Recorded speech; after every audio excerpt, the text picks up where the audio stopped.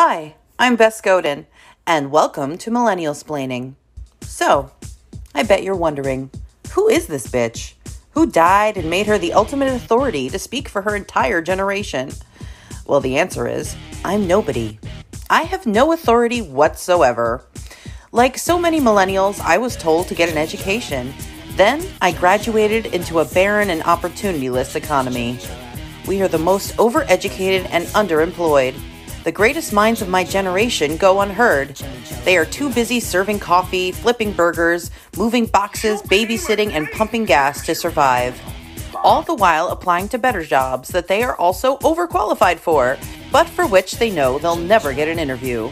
And finally, at the end of a long day, we have time not to relax, but to work on our blogs and YouTube channels so we can have some modicum of expression in a world where we are told daily that we are disposable. And with each of these desperate efforts to grab hold of the national microphone, we find ourselves slipping further and further away from it because the world doesn't want to hear our problems. By corporate reinforced choice, we are a generation lost in obscurity. Hi, Sabby. Thank you so much for joining me on Millennialsplaining. Hi, Bess. Thanks so much for having me on. Yeah, it's great to have you. Um, I'm so excited that uh, you know, I got to speak to you a couple of times and I was like, you know what, this is not enough Sabby. I need to have a one-on-one. I need to have a so, so uh, you are the host of the Sabby Sabs show. Um, and you have your own network, but you're also uh, part of Fred Hampton Left, right? Yep. Um, yeah so uh tell me um just give me a little quick intro to yourself if you'd like and uh and then we'll jump into some news Awesome. Um, I'm Sabrina Salvati. I'm the host of the Sabby Sabs Show, and I'm also with the Fred Hampton Leftist Network. Um, I actually got into podcasting rather recently. It was after Force the Vote. I was already uh, vlogging on YouTube, so I already had uh, a platform. And the reason why I decided to do this is because I just felt like we didn't have enough voices in leftist commentary space. We didn't have enough women. We didn't have enough African Americans. Um, and people weren't really getting a chance to hear like our perspective as much. So I wanted to to change that. Um, it has really kind of taken off. I, I did not expect it. I did not expect that to happen as as soon as it did. Um, but we've had a lot of support from people like um, viewers and um, I've had so many people like reach out to me and say thank you for what you're doing. So there's there's been a lot of tremendous uh, support, and it's interesting because my background is in higher education, so I work in higher ed. In the beginning, I didn't really see how I could use my background in this space, but then once I started doing it and started talking about politics a lot, I realized that the political space is very similar to the structure that we have in the higher education system. Um, they kind of operate the same, and it's part of the reason why we have the problems that we have in politics and in higher ed. They're actually similar. So I'm able to connect the two. Awesome. Yeah, let's dive into that a little bit if you don't mind. Um what so what are the similarities that you see? I mean, I can only imagine I mean, you know, I I, I have my experience too in higher ed. Um but you know, it's like essentially like like a like the playground, right? That CEOs and lawyers play on, right? So it's it's yeah. how they learn how to become who they are. So yeah, tell me a little bit about your experience with that. Yeah, so it's interesting because higher ed, when people think of universities, they see a school. But those of us who work at those universities, we know that they're very corporate, especially the ones that are these elite private institutions, right? Like Harvard or uh, Boston College. Like these are elite institutions. They make a lot of money. And sometimes the money is not always well spent or put in the areas that are under resourced. Where this connects with politics is the structure.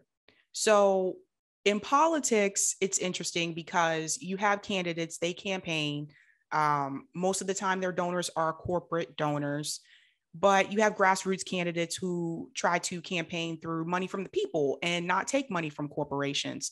But what we have seen this past year, uh, especially with the squad, is that even those grassroots candidates are still going along with establishment Democrats, the corporate Democrats. So in the political space, you have a, a president of the United States, and you have Congress, and you have the Senate. But the president doesn't really call all the shots like you think that they would. All of these politicians are beholding to their their donors. So if they have corporate donors, that is who they are going to serve. They're supposed to serve the people, but they don't. They're public servants. They're supposed to serve us, but they don't. They serve the corporations.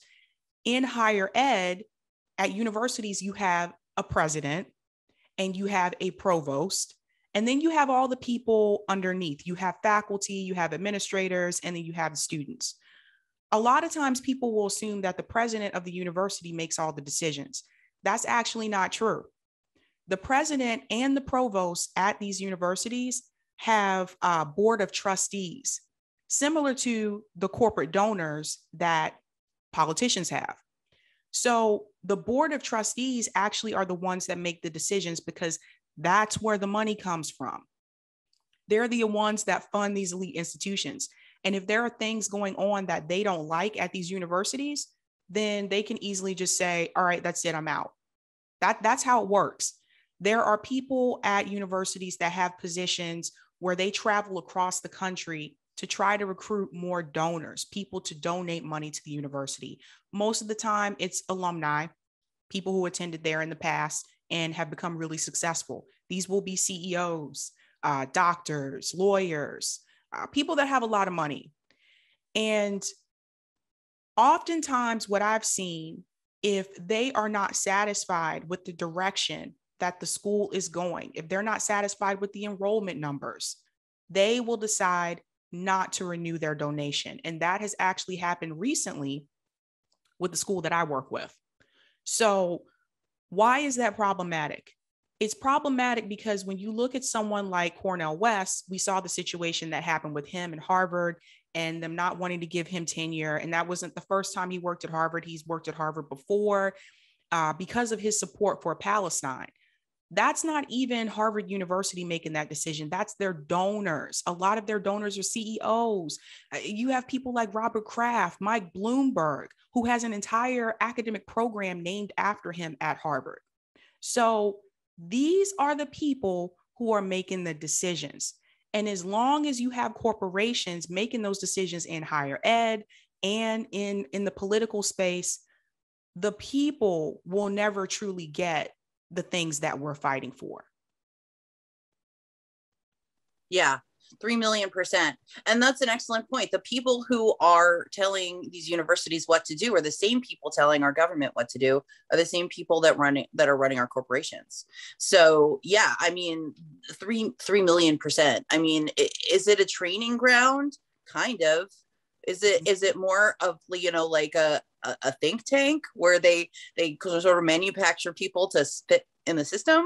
yeah more more so yep Yep. Yeah. You have to look at how many politicians went to Harvard.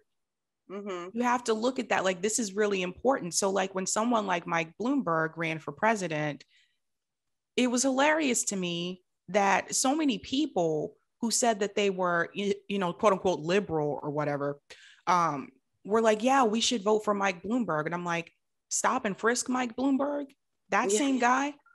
So a university like Harvard was never going to back a Bernie Sanders. They're not going to do that. They would back a Mike Bloomberg because he's one of their donors. Mm-hmm. Yeah. Yeah. Yeah. Mike Bloomberg, he only won like he only won like one uh region or whatever, right? Like mm-hmm and it was like it was definitely somewhere he he donated to. It was like out in the boons in like Hawaii or something. Like yeah, yeah. How anyone could have possibly taken him seriously except for himself. Um, yeah, he was he was a, a waste of money, and I'm and as I'm sure is his career. Um, so yeah, uh, yeah. Let's talk a little bit more about um, you know let's let's let's rag on AOC and the squad and try to push them to do something.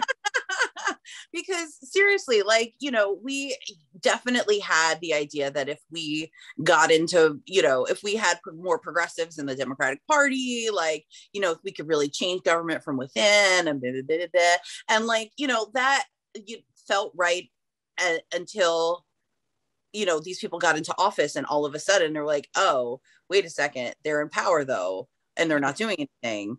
And they i'm but they you know they are in power though because like like literally they have uh you know the pull to say no to everything that Nancy Pelosi wants to do everything. And they don't do it they don't do it. Um and so like you know i personally still support um other uh, candidates that are running for office, especially locally, um, and stuff. And I, so my philosophy is sort of this: I believe that we should support candidates that we believe in until they get into office and they start to disappoint us, and then we need to stop funding them, and then we need to demand that they do what we want, or you know they're gone essentially right? So i see it this way like you know we at this point, and I don't know for sure, but at this point, I'm assuming that AOC and Cori Bush, people like that, they're getting like maybe 60% of their funding from um, uh, grassroots donations at this point. There are people who admirers and whatever. Um, and maybe 40% from the donors, right? Like like originally maybe it was 80-20 and now it's 60-40 or something like that. So, so there's definitely been a change, you can see it. So I think at this point, once we have, you know, once we still have any leverage whatsoever over these people, you know, we need to stop funding them now and start demanding. And the thing is you can't just stop you can't just stop funding right you have to you have to couple that with a demand otherwise people don't know what's going on. They'll just run right into their corporate donors or whatever. But if we make it very fucking clear that like you take any money, any money at all mm-hmm. from these people, and we see it, we see it. We see you, Nancy Pelosi, funneling, you know, dark money into these people. We yep. see, you know, we we see it. So let's not get cute. You know, let's not try to, to cover it up with cute tweets and stuff. Um, yep. you know, America is not stupid. So, you know, we need to say, let's, I'm, I'm not going to donate to you guys. And hell, I wasn't doing it before. I can't afford it, but I'm not donating to you guys seriously in the future because you aren't doing what we like elected you to do. You aren't fighting for us. So you need to start fighting for us and you need to start, you need to stop taking corporate money and you need to stop listening to their directives. Otherwise, you're gone. What use are you to me? So yeah i mean i i really believe that these people we we sort of trained to look we're trained to look at them like they're supposed to be our movement leaders right? But when has a politician ever been a movement leader you know like that's not that's not how this works. Like we need to step up to the plate and use our politicians as chess pieces. Like we like to talk a lot about 3d chess during you know the 2020 election and all that stuff. But the reality is is that we're the chess players right? We're the chess players against the corporations. And that's what we need to think about our politicians as the pieces. Yeah go for it. Absolutely. I mean look, Justice Democrats has dark money now. So if you're running as a Justice Democrat, that doesn't say much to me anymore. It doesn't have the same weight that it used to have because now Justice Dems is just falling in line with all the other corporate donors. So no, that that's that's not a good thing right now. So for me, I mean, I donated money to people running the squad. I donated a, a, lot to Bernie Sanders. I donated money to Bernie Sanders when I really didn't have the money to do so. When really I should I, I should have held on to that money to be honest with you. I donated what I could and it was very little at that time. I donated what I could to to Nina Turner then and then I had to stop. I just it just what good does it do me? What good does it do the people to continue to donate money to them? And they're not going to fight for these issues. They're going to get into Congress and they're going to vote along with corporate Democrats. I'm kind of sick of hearing that, well, they don't really have any power because there have been multiple times throughout these past couple of months where they could have used their power. The Capitol Police Funding Bill, when you vote present on that bill, you were not using your power. And you saw Ayanna Pressley and Cori Bush were the only ones that voted against it. And Jamal Bowman, um, Rashida Tlaib, and AOC voted present. That didn't make any sense to me. That was a time when they could have used their leverage to actually implement change, to make a statement, to let the corporate Democrats in Congress know that you are for real and you are going to fight for the people. They didn't do it. We asked them to force the vote, which would have been an opportune time to get Nancy Pelosi out. They they couldn't even do that. They couldn't go to the town hall. All of them were invited. Not one person, you couldn't send in one, not one person showed up. So, and that was an event that was trending on YouTube. It, it, so to me, it just doesn't make any sense. So again, if they're going to get into office and just do the same thing as corporate Democrats, then what are they there for? Why are you running a grassroots campaign? Why are you asking us to donate to you if you're going to be like the other politicians? That is problematic to me. So I personally will not be giving money to them. Um, when it comes to local elections, I tell people that if you are going to run for office and you really want to implement change, that's probably your best shot because I've known people that have run for city council. I've known people that have run for mayor. Those positions have a little bit more leeway to make some of these changes. I moved to Boston when Mayor Marty Walsh was still here. He was still in office. He had been in office for a long time and he decided to step down. Marty Walsh ran, uh, he won, and he implemented changes in Boston. And not even like a couple years later, like he started implementing changes like right away. So you have a little bit more leverage, you have a little bit more pull. Now, he didn't do everything perfectly, of course, but he was able to do those things. Same thing for city council. People look down on these positions. They think that because it's not a position in DC that it's not important. That's actually not true. City council controls the budget. What more what more chance to implement change than to control the budget, to be a part of that. So, I think people need to focus more on making changes in your local community while we can because the national changes electing justice democrats is just not coming about. They are not the majority. As long as they are not the majority in congress or the senate you're always going to have the corporate democrats are going to go against them. And now they they've joined in in with them. So what's the point? Yeah.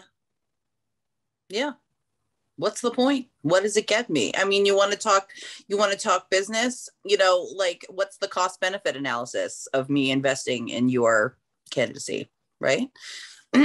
Nada.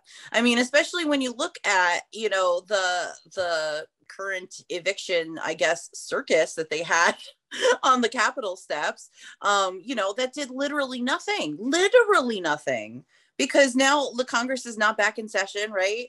Or and they you know the supreme court has ruled that uh you know their their stay of their mm-hmm. decision mm-hmm. is over now. All those people can get evicted and nobody's doing anything about it now.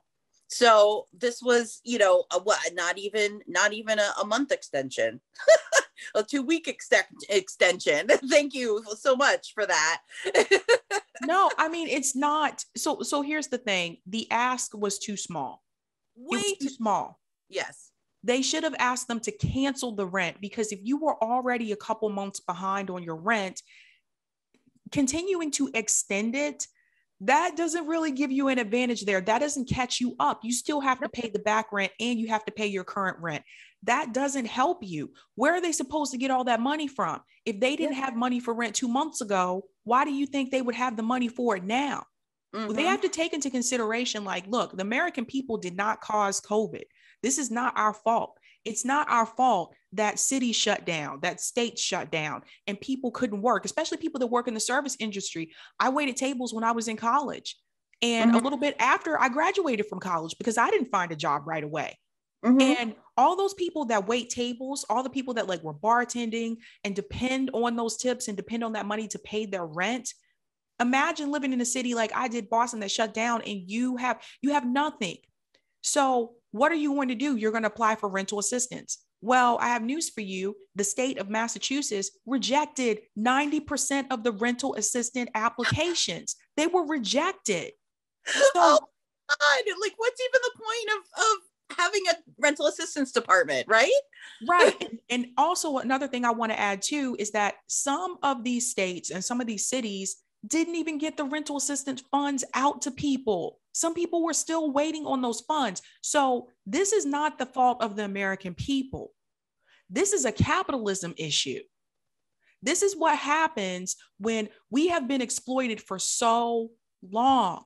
We have we depend on this.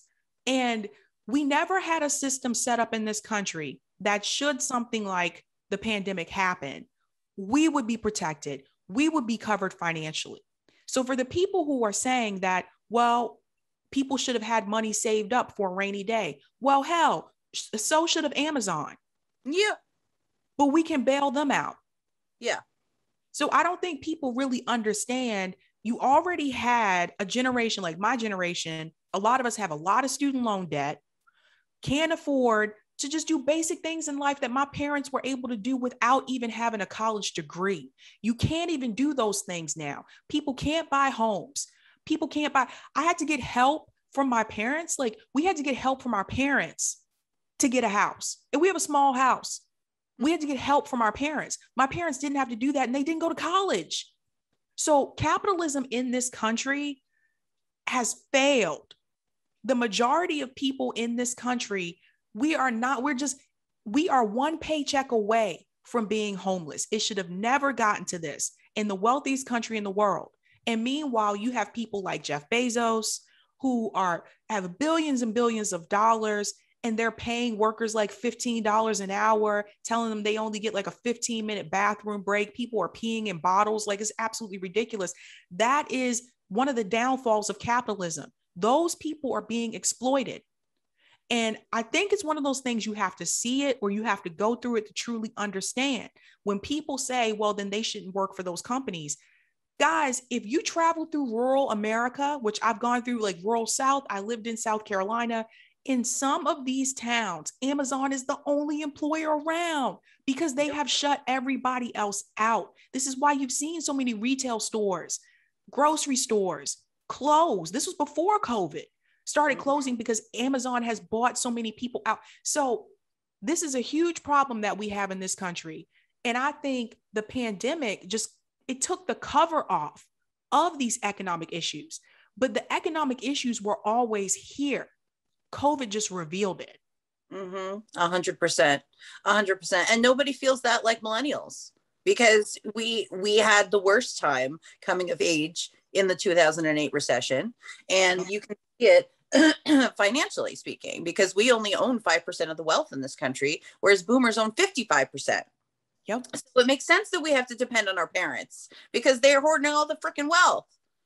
Yep. You know and like what you said exactly like you know where where are you going to go? Or if you work a, a $15 an hour job at amazon and you're mad that you have to step over a dead employee to keep working because your supervisor told you to sue then where are you going to go are you going to go to target are you going to go to walmart are you going to go to places where they do the same exact thing but pay you less no I mean, I, there's nowhere to go. There are no jobs. I remember seeing a meme back. Eh, I mean, this was like probably back in like 2013, even where I just it was just a like a rage falcon where it's just like ah, and it just said there are no jobs.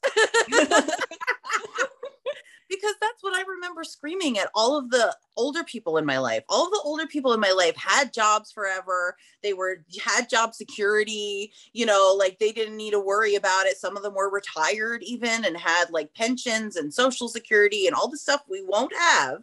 Um, you know, and they were all telling me, well, you just got to go pound the pavement. You just got to go keep looking for a job. And I'm like, it doesn't matter. It doesn't matter if I find a job where I work, all the jobs are the same and they all fucking suck. Yeah. I will yeah. never have health insurance. I will never have, you know, and I, ha- I had health insurance for patches and stuff like that. But like for the most part, no, you're not going to get health insurance. You're not going to, you're not going to be able to find a desk job even anymore. I mean, like it took me, like I, I had a bachelor's degree and I granted it was in theater. So, you know, that was a bad idea, but I literally took me about 10 years no, longer than that. I think I got my first desk job in 2015 and I was a secretary. And the rest of that time I was working retail because that's the only places that were hiring. Only yep. places that were hiring. And um, you know, that's just not a reality that older people have seen. Um yeah, so I didn't mean to get off on the thing there, but like, you know, 300% absolutely everything you said. Okay, I'm just checking the time. Um so yeah and i also let's so let's also talk about um i watched your last episode and you were talking a little bit about uh student debt you got off on this one thing that was so awesome and um I, I took notes on it and now it's on my phone that I'm recording on. So like that's that's cool. So now I have to like take but um you know you know student student debt is like one of the you know I guess uh, buzzwords of our generation, right? Like that's supposed to be why, and the main reason why that we have no wealth, that we can't get our feet on the ground and stuff like that.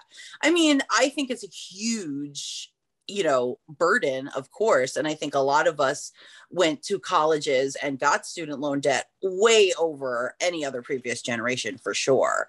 Uh, but at the same time i also think it's because of the lack of jobs and i think it's because lack of opportunity and the lack of affordability of literally literally everything. But um yeah so i have student loans right? I have never paid them. I don't know. Again, like I've said this a few times on my show. I probably shouldn't admit that in public, but I just literally haven't had the money. I literally have not had the money to pay them. Right. Like that's just, it's never, I've never had extra money to do it. So what I feel like there are so many people in that situation. It's better for me when I get a few extra dollars. It's better for me to invest it in, you know, my future than it is to go mm-hmm. paying off debts and I really think that that's something that we should start talking about more on the left and we should encourage people to do. Like, I don't really know the history of debt striking, but I really think we should start doing that because there are way too many people that are drowning in debt and there's no need to pay these people back because your debt has already gone from company to company to company been sold between other people and you literally will never be paying back the person that paid your original loan in the first place so they've already made their money off you. There's no need for us to, to go crazy trying to pay off these debts. Instead, we need to be, you know, we need to be thinking about doing things for our future. Um, you know, and I I would like to uh I would like to personally build small business for myself. I think that other millennials should think about doing that as well. Um, I think that if we start uh, you know, embodying the changes that we want to see. I'm a socialist, so I believe in co-ops. I believe that, you know, we are the best poised to create co-ops because we are the most educated and most uh, you know, skill. We have so many skill sets that are underutilized. Um, and so we're in the, we're best poised to do that. Uh, so uh, you know, I I promote ourselves building a power base that's sort of separate from uh you know the the the establishment what do you think about that? And how you know how would you you know how would you talk about that? Yeah i mean i agree. Like i personally look i've been working since i was 16 years old. One of the things i've learned is i don't really like working for other people. I just don't. And i think what maybe the older generation should come to understand is that a lot of us we are working for employers that they don't really want it. They tell you, you can get like time off, but they don't. But then it's kind of frowned upon when you do it. Uh, they only want you to take time off at certain certain times of the year. Um, they uh, they say you can you get the sick time, but then it's like you use too much of it, then they have issues with it. It's there's all these stipulations that come along with it, and our generation has been made to feel very guilty, very guilty for wanting work life balance. And that is very important for your mental health. That is important for your physical health. And so, a lot of people in my generation, they're going through things like anxiety and depression. And a lot of that has to do with the stress, the overwhelming stress that we have in the workplace, working for a lot of these supervisors that it's, it's, they want you to work till late at night. They want you to like, do, it, the work comes first, the job comes first, not thinking about the fact that some of us have families. Some of us have, you know, other responsibilities outside of work. I have coworkers that have to get to the daycare at a certain time. If they don't, then they have to pay a late fee for being late. And I've I've had coworkers who were late every day and have to just fork over $50 every time that they're late because their boss wants them to stay later and work on this. We are overworked, we are underpaid. And I, I told you before I came on about the people in IT that quit. And that's another profession that people don't understand. Like a lot of people working in IT, they are they are underpaid for all the things that they do and and underappreciated. So you have people in this generation that have graduated from college. We have a lot of student loan debt. We weren't given salaries that would actually uh, give us an affordable, an, a, a, a living life, just being able to live in general. I'm seeing people graduate from some of these elite colleges with like hundreds of thousands of dollars of student loan debt, and their first job, the only job that they can get, only wants to pay them $50,000 a year. Now, realistically, how are you going to pay off all that student loan debt with that type of salary? And on top of that, these companies aren't promoting people. They're not, we don't get any kind of pension.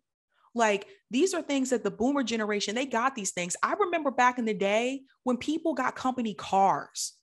I don't even think that's a thing anymore. So it's like they want you to do invest all of a lot of our time into the workplace. There is no work life balance. They kill me with that. All these companies you you you look up like their benefits they'll have a section on work life balance. But then you start working there and you realize no people are coming in at eight o'clock in the morning sometimes seven o'clock in the morning. They may leave at five but when they get home they're still doing work. They're still answering emails. And this is why i tell people take your email off your phone do not, I was guilty of that. Take your email off your phone. They're still answering emails. I get emails from people midnight, one o'clock in the morning. What is happening here? There is no work life balance. This is not healthy. This is terrible for your mental health.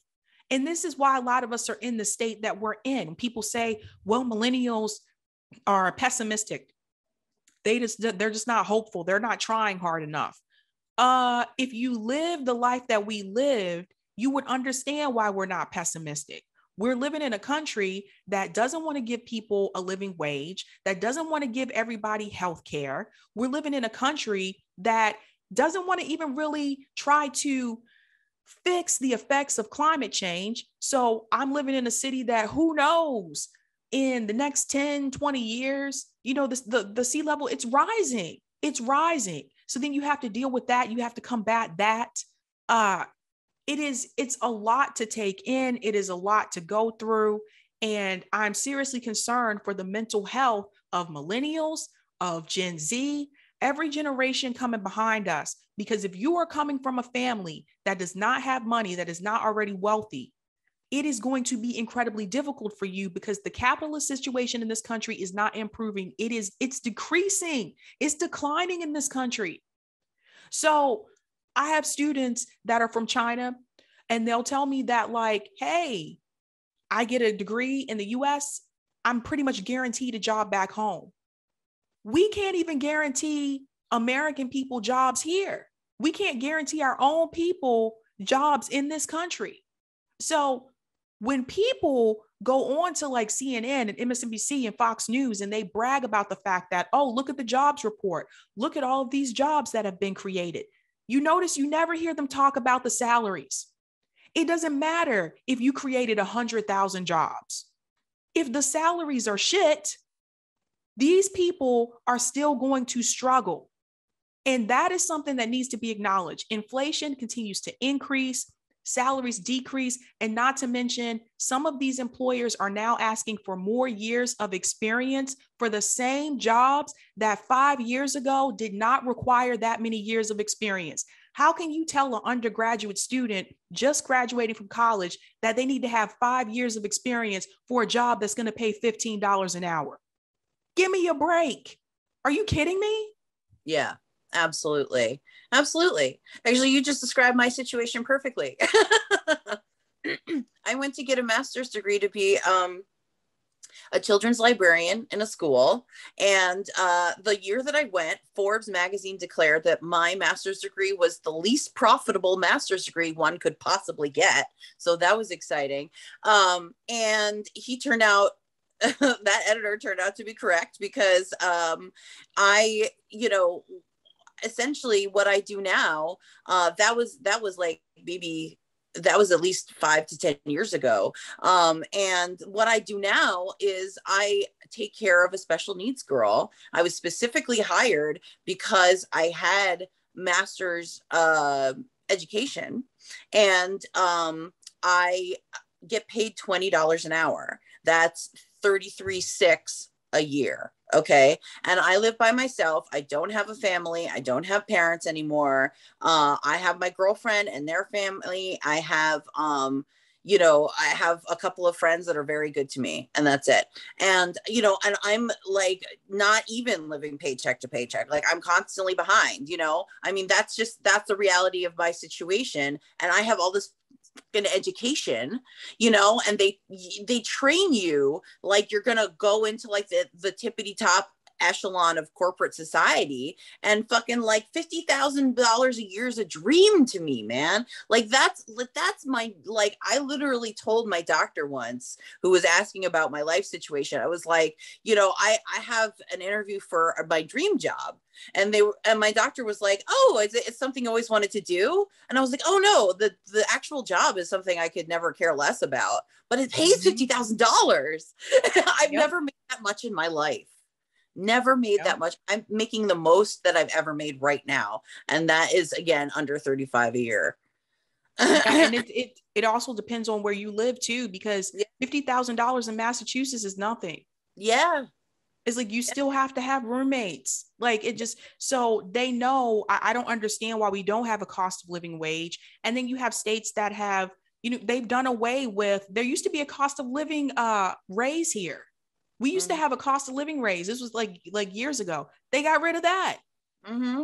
And, and so it's just like you're constantly asking people to work harder, work longer hours, and then you want to do this thing where everybody gets a flat 2% raise across the board, but your health insurance increases. So that 2% ra- that raise that you get along with inflation, it really doesn't do much. Mm-hmm. Yeah. Nothing. And oh yeah, by the way, I don't get health insurance. I don't get uh, paid time off. Uh, I don't get sick days. That yeah. was my last. Yeah. yeah. I mean, it was. I know, like when I when I waited tables, similar thing. There was no health insurance. There was no paid time off. Like if you took vacation, that meant you. That meant I wasn't making money those days because I, I wasn't like waiting tables. Um, if you got sick, you didn't make money that night. So it, it's absolutely ridiculous. And this is why health insurance shouldn't be tied to your job. Just give health insurance to everybody so they don't have to worry about this. I know people holding on to their jobs just because they need the health insurance. Because mm-hmm. if they quit their job, then they don't have health insurance and they have medical conditions where they need to have it. It is a uh, slave mentality. Yes. And you are a slave to your job, you are a slave to your employer. And that is what we have going on in this country. It is very sad. I know many people that would like to quit their jobs and start their own business, but they they don't again because they need the health insurance. It's a sick system. And so many mm-hmm. other countries in this world give health insurance to everybody in their country. And we're the wealthiest country, and we can't do it because the politicians that we have in office, they get donations from big pharma, from Blue Cross Blue Shield. It's, another one which is really bad with, with politician donations. And so the money, that's money for their pockets. That's money for their campaign, for their next election. And so if you continue to support these politicians, if you continue to fund them and you continue to vote for them, they're never going to change what they do. So if you really want to have a movement in this country, you're right. These movements are not led by politicians. Civil rights movement was not led by a politician, neither was the women's rights movement. You have to get the people to rise up and protest and you have to continuously do it. It took MLK a long time. It took several protests to get equality or equality for black people in this country. And that's why I mm-hmm. want people to understand. It takes a, it's going to take a march on Washington, like what MLK had. Like you have to have thousands and thousands of people. And so, what really pissed me off about AOC and Cori Bush's uh, performance stunt at the Capitol is that if they really wanted this to be a movement, they could have announced that they were doing this protest on Twitter They could have gone on to people's shows, independent media shows that they ignore now, and talked about this protest. And thousands of people could have come out, but they didn't because they didn't want to draw as much attention to it as they claim. They got just enough attention to show that they were trying to do something and they really didn't do anything. Mm-hmm. Mm-hmm. Absolutely. Absolutely. And I talked to Afeni about it um you can see that on my channel and uh you know like they, that was an actual decision that they made was was to they decided not to reach out to people and ask them to come. And I, it was partially because of the capitol police and they were concerned that the capitol police would start to get aggressive with them. And that's something that they voted for to fund. Exactly. Exactly. And hey that happens in protests. If you're really going to fight that's something that you have to deal with. We That's saw right. that with the Black Lives Matter movement. We saw that with the George Floyd protest. We saw the police, obviously, yes, they are going to be there. So what? That's right. We saw police like beat up MLK and put him in jail. Mm-hmm. Do you think that stopped him from fighting, from protesting? No. So, this idea that you're going to have this protest, but you don't want many people and you don't want to draw in police, you don't want the police attention, that's not a protest. That's a classroom.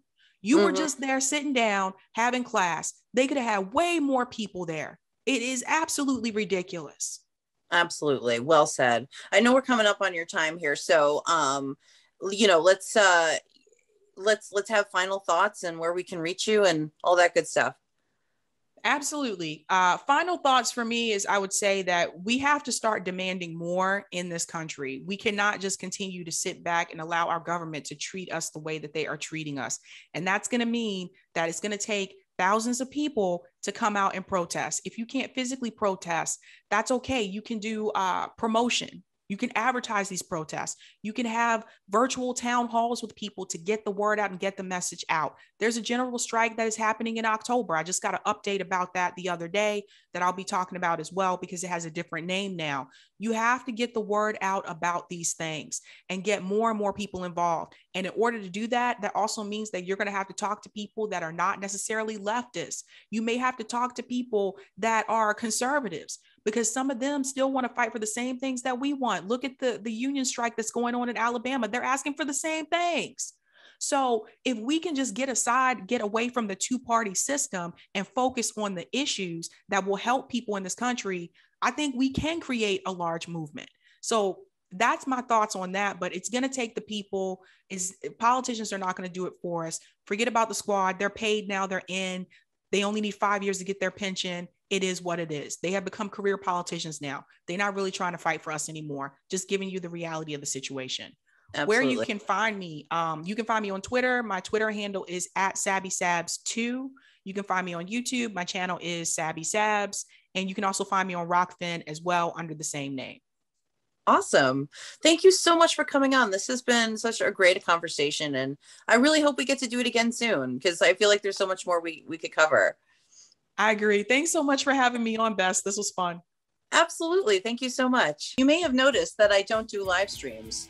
It's a lot, and I'm like one person. Okay. But I would still love to be able to uplift your voices the way that live streamers do by highlighting your chats or your indie businesses. Because I know how hard it is for a millennial out here, and I'm happy to share my platform with people who support me.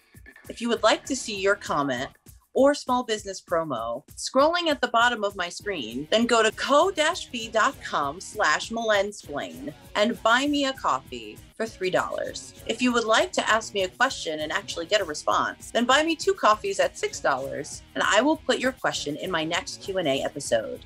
If you would like to insult me, I can take it. I got a thick skin and honestly, I have a good sense of humor as well. Like my upcoming Q&A episodes, I will be doing special insult episodes. So if you would like to see your insult on my insult highlight reel episode, and possibly get one back, then please buy me two coffees for $6. Then I'll be more than happy to clap back.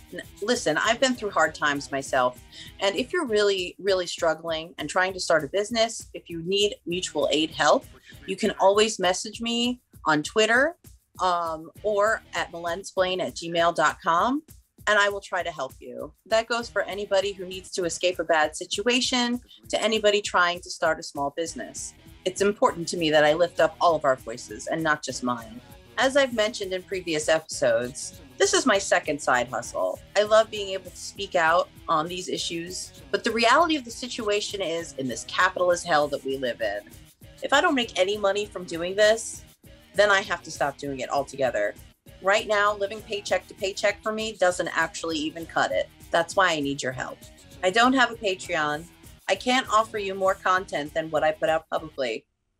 I don't have the time, I don't have the money, and I don't have the energy. If you want to see more content and you want special member features, you have a PayPal account that you can donate to, then support me and together we can make it happen. If not, I will fade away into the ether. As always, for all my links, please go to millensplain.com. Thank you.